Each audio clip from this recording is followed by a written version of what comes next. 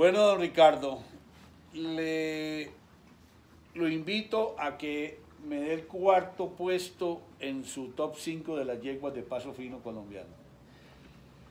Carlos, para mí el cuarto lugar lo tiene una yegua que le caminaba como los dioses.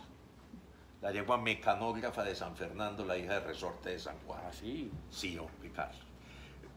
Esta fue una yegua que Yo hizo- lo- honestamente no la tenía en mi... para mí una yegua excepcional. Esa yegua, Carlos, tenía un movimiento en sus menudillos en las patas Sí. que cogía la tierra y yo no le exagero, tiraba tierra y yo creo que la tierra hacía una, una, Un arco. un arco así, que fácilmente podía subir metro cincuenta o dos metros, De de la forma como tiraba tierra esa yegua. Una yegua que desafortunadamente sufrió una, una eh, laminitis muy fuerte, casi que diría una infosura muy fuerte, y eso fue una yegua que ya al final su manejo no, no era fácil, había que contemplarla mucho, llevarla con, con mucha suavidad. Pero yo creo que los andares de la yegua mecanógrafa, esa yegua mecanógrafa que vimos con Pacho Betancourt hacer unas presentaciones y coronarse campeona múltiples, en múltiples ocasiones y que le alcanzábamos a ver con Alejandro Ochoa una vez una presentación en el Aurelio Mejía magistral. Sí. Una yegua única, Carlos, única. Una yegua de la exquisitez del paso fino, diría que era la yegua mecanógrafa. Velocidad, pulimento, tren posterior, velocidad, elasticidad, una yegua única y una belleza. La cara de esa yegua, Carlos, era única y con una oreja jugando siempre con su oreja. Una yegua de las que más lindo he visto yo caminar el paso fino y creo que, que pasarán muchos animales, muchas yeguas mm, para que uno pueda decir eh, es mejor que la mecanógrafa. ¿Y qué competencia le impactó más de ella?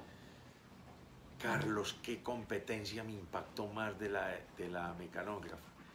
Yo creo, Carlos, que un agroexpo. Sí. Sí, fue un agroexpo donde yo vi esa yegua hacer, o sea, prendió Carlos, es que no me acuerdo si fue agroexpo o fue, sí, fue agroexpo, Carlos, en Bogotá, fue agroexpo, agro- ya me, ya me acordé por qué agroexpo. Eh, fue eh, un agroexpo en Bogotá donde vi esa yegua caminar como los, como los dioses Sí. como los dioses, montada por Francisco Betancourt. Una cosa de locos, Carlos, de locos. Y una vez también en Pereira, en una, no era nacional, en una feria normal de Pereira también. Le, le voy a contar como anécdota. Ella era un poquito, un poquito eh, eh, mm, eh, necia. Eh, A veces era un poco díscola.